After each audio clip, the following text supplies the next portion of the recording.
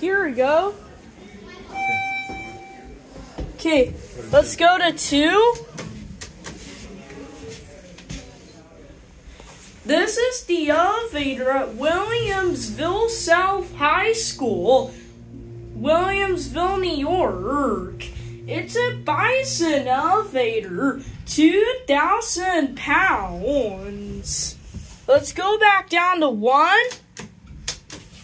I'm the first person to film this elevator. When when I'm in 12th grade, I will be doing a final ride here.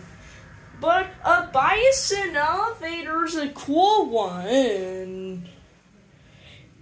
These are the fixtures. APCO, I think it is.